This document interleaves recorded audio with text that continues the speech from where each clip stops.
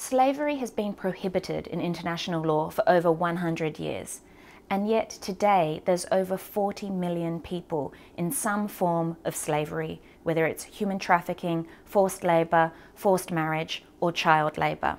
Non-state actors play a major role in this enslavement, but the role of the state is also important. The premise of our research project is that there is a gap in the current approach to modern slavery.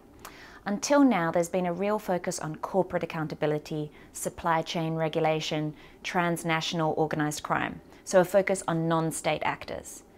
But the role of the state can be important, either directly or indirectly.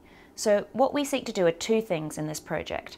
First, to uncover the gap, to show that, that there is a role for the state in the commission or the facilitation of modern slavery.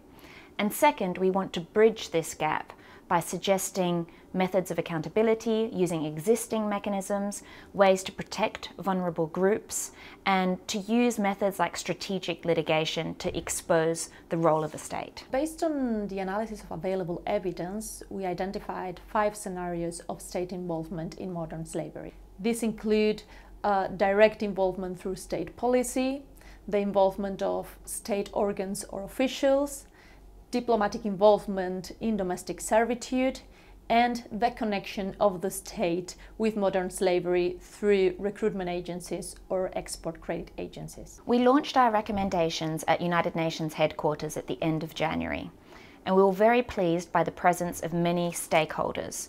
We had diplomatic representatives, UN officials, members of civil society, and academics working in this area.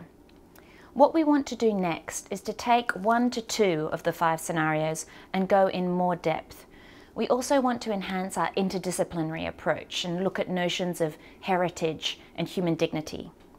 We are working with the UN Special Rapporteur on contemporary forms of slavery to seek to understand the drivers behind modern slavery and how we can adapt our current strategies to tackle tomorrow's problems.